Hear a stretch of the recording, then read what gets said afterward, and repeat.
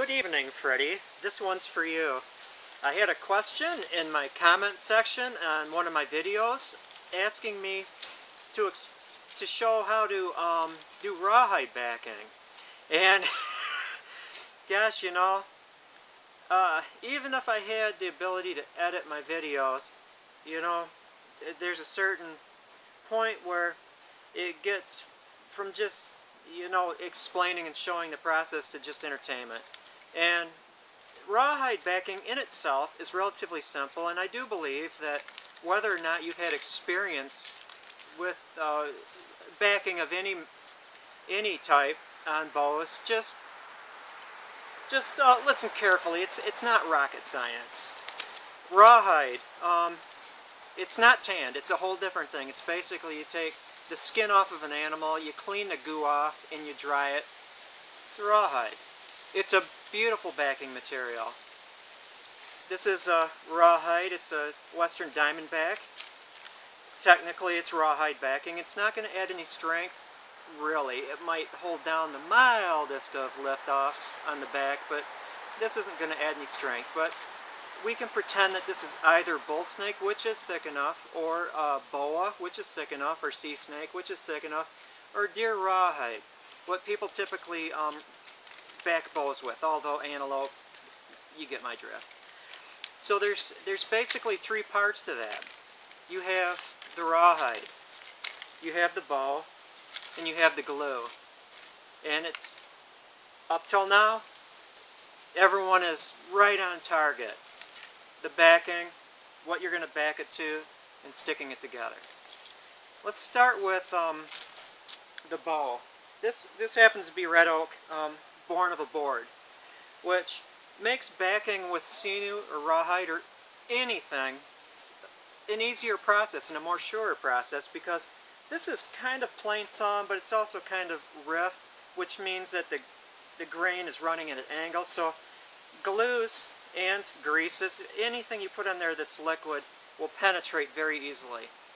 If you were to take Osage and work it down to uh, the heartwood, single growth ring, very smooth, and if it's a self it needs to be just silky smooth, or if it's black locust or whatever, whatever kind of stave bow, you have worked it down to one growth ring lovingly, whether or not you just pulled the bark off.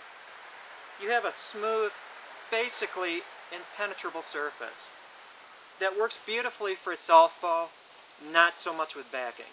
You have to take that leap of faith. You're going to have to take that beautiful, shiny, smooth back that's going to resist glue soaking in, and you're going to have to you're going to have to scarify it somehow. Now, you never want to scarify it. We're not even to the point of degreasing yet. You want to scarify it from tip to tip. Never scarify it this way. You can put deep gouges in the back of a bow from tip to tip and if they're deep parallel you're not necessarily going to destroy the fibers of that bow so first off you're not destroying the, the, um, the strength of that back. Take the leap of faith, the backing is going to help. The backing is going to take the brunt of the tensional load so just suck it up and scratch up that back if they make 40 grit sandpaper, I think the lowest I've seen is 50, or a rough, it, even rock, not one with like a big jag in it, you know. Anything to make grooves, groovify that, hacksaw blade, uh, a small miter saw, anything. Be brave, scratch it up. It gives the, the glue the greatest amount of purchase. In the last video when I was talking about Sinew, my advanced tricks, you saw I had white gloves. I wasn't waiting tables. Those were white gloves because once I degrease that and I'm working with it, and even after Sinew backing, because I'm going to do wraps, I don't want to get my hand oils on there. So degrease it. Um, Primitive Teen brought up percolating water through um, ashes, typically hardwood ashes, uh, oak ashes work really good, to create an alkaline solution. Alkaline plus grease equals soap, which equals something that's going to break down surface tension. Aha! That's a tip. And so you degrease that with whichever method you want. Again, you're backing it, it's going to have to have time to dry out, so you can get away with just scrubbing it with a detergent underwater. Getting water on it is not going to kill it, it's not going to soak in, it's not going to raise the moisture level instantly. You're okay if your wood gets wet. Degreased. Okay, so this is ready to go with the glue. I'm going to talk about Titebond. I'm also going to talk about hide slash fish bladder glue slash sinew glue that I use because I make my own glue. The rawhide. Let's say this isn't a snakeskin, which, you know, comes uh, more than often extremely clean, relatively degreased. Fine. If you're working with deer, you're going to have to first cut it into strips, which makes this next process easier, easier, and scrape it with a nice sharp knife. You need to scrape all the, the former living tissue underneath the skin off of that. You need to clean that hide. The better you clean it, the better you degrease it, the better chance the glue will have to be absorbed into it. Scrape it first. Get all the, um, the goo off of it, and by goo I mean fat and flesh. Then go back and sand it. It works the same way as the bow. You need to kind of scarify it. You need to um, prepare that so it's ready to absorb glue. So I get a rough sanding block. I use 80 grit. The workhorse for tillering, also the workhorse for um, preparing hides. And so I sand it, and it can be tricky to when it gets wet when you soak it to see which side you sanded because it lays flat. And I'll usually take a pencil and just write like a letter on it so I know that that's the side that's going to be glued. And so you've taken your hide, you've scraped the goo off, you've sanded it with 80 grit. Now, typically with deer hide, you have a longer bow, you're going to have a scarf joint over the handle. This next step isn't necessary, but it helps. I'll take the ends that are going to be the handle, and I'm going to sand them to a knife edge. So I get a good scarf joint. So in the center, even though you've got a hand wrap over that, it would hide it. I like to have it so it's just flat. Scarf joint is an angled joint that kind of overlaps. So you got it. Next, you want to trim it. And I rough trim it, rough trim it dry. And so it's going to be wider. If I was to wet it and it starts um, loosening and, and, stretching out and you were to rough trim it, you know, it, it's going to be, it'll wind up being smaller than if you do it dry. And I like to have a little extra that goes over because the next process, when I'm actually wrapping it with something, it's easy to slide off and you might have like a gap in it. And it helps to have extra wet. Okay, so you take a pencil or something, uh, a sharp point will scribe along the limbs, and you cut it out. Whether or not you're using a rock flake or scissors. Okay, so now you have your hide um, scarf joint prepared. Uh, it's been roughened up so it'll accept glue. Now this is where I see um, differences in technique. I've watched videos on um, rawhide backing by people that, you, know, there's a great number of people out there teaching survival skills and other things that did it twice and now they're an expert so they're expounding it. But I've also seen it done by people that know what they're doing. Hopefully I fall into that category. I do not over soak my, my hide. I do not leave it in water overnight. There's no use to having a big, thick, sloppy mess. If you soak it, you know, temperature, it's so dependent on temperature and water temperature and stuff, but I usually soak my hides no more than 45 minutes, maybe an hour at the most. I don't want them to be just big, nasty, gloppy, slippery, hard to handle thing. It's not necessary. And so, I'll soak my rawhide for 45 minutes or so. And I'm skipping a step. Size the bow. You have your, um, if you're using Titebond, there's three kinds of Titebond. Tight bond, Titebond 2, Titebond 3. Titebond 3 is waterproof. Titebond 2 is water resistant. Titebond is just like carpenter's glue. And my choices would be Titebond or Titebond 2. Never Titebond 3. Titebond 3, it's not necessary for these purposes to have waterproof glue. In fact, Titebond 3 is more brittle than Titebond 2, and it doesn't, I don't believe the bow will size as easily, because when I'm sizing the bow, I'll take a little bit of dish soap, which just happens naturally if you um, use an alkaline thing, because of the grease and alkaline form soap. And if you size it first with just water and a little bit of dish soap, you're preparing that glue, whether or not it's Hide glue or Titebond 1 or 2, forget Titebond 3, to soak in. You want it to to be liquid, watery, and reducing uh, surface tension as much as possible because you got to get that in there. And then if you're using hide glue or fish bladder glue or sinew glue, keep going over it until when it dries, your finger will stick to it if you wet the tip of it. You're ready to go. And so I take my hide and I'll, I'll lay it on there and then I'll fold it in half. And this is sized, the hide was sized also. You have to size both. And I'll take my glue, if it's Titebond, I'll rub it on there, half of it, lay it out, center it, get it on there, and then flip the other side and do the same thing. Rub the Titebond down there and do this. Do it to the other side. Okay, so you've got this, and because it's stretched, it's going to stick out on the tips. I'll take that and I'll fold it underneath so the hide can't go like this. That has locked it. Then I will take, I'm a big fan of gauze, just cheap gauze, and I, I start up above the scarf joint and I wrap it. Wrap it pretty tight. There you go, and then just repeat it on the other side. So really the trick in rawhide is preparing, preparation. Now if you're using a natural glue like um, sinew glue or hide glue or fish bladder glue, it's going to surprise you. Now you soak your rawhide for 45 minutes, an hour. You didn't overdo it. You did not overdo it.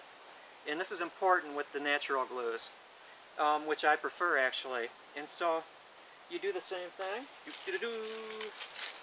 You've got this, and it needs to be a somewhat thick glue mixture, not the thin sizing, but a thicker, so it will gel a little bit. And I, I do this two ways. I do the same thing, flip it over, smear the glue on there, and just push it down, and the same thing on there. And you do not, this is going to surprise you, with the hide glue, the natural glues, you do not need to wrap it.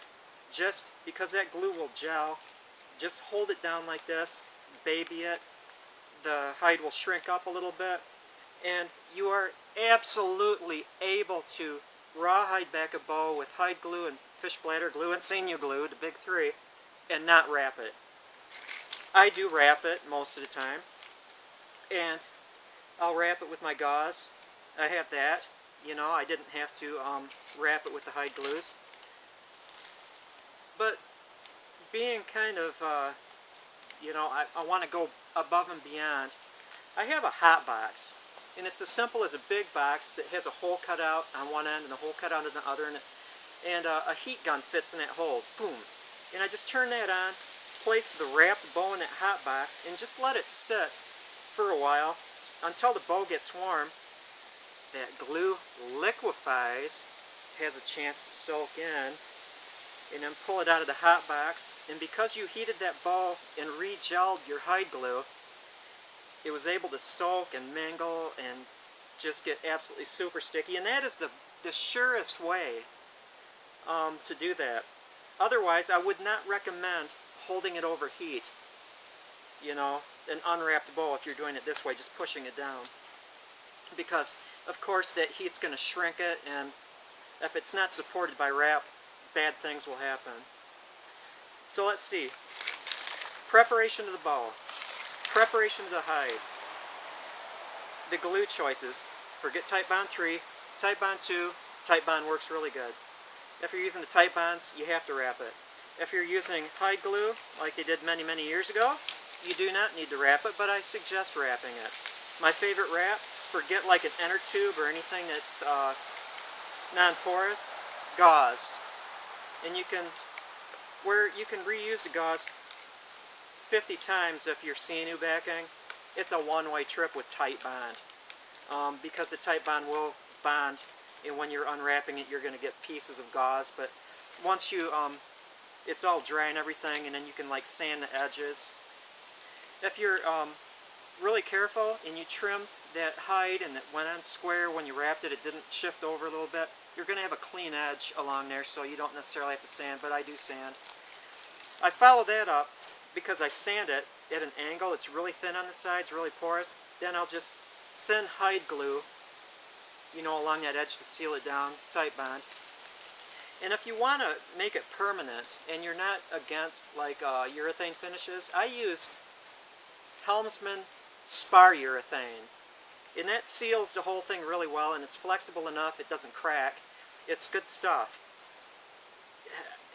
I can recommend um, Helmsman spar urethane. I don't know about the other finishes because you risk, you know, losing the strength. Now, as an experiment, I rawhide backed deer rawhide one of my paddle bows. And I experimented with uh, acetone epoxy. If you take epoxy, you can mix acetone with it and turn it into a thin, thin, thin liquid paint and paint over something and then it still cures just like regular epoxy. But what happens there is because it's so um, non-flexible, that rawhide was useless. It just it just cracked. When I, I drew a bow and it wasn't a heavy one, it failed because that rawhide was not able to stretch. So be careful on your finishes. If you use the hide glue, um, I would be reluctant to grease the back because then you can't repair it. And by repair I mean if an edge lifts up you can always fix it if you didn't grease it. You could always, I guess, degrease it, but that's kind of a pain.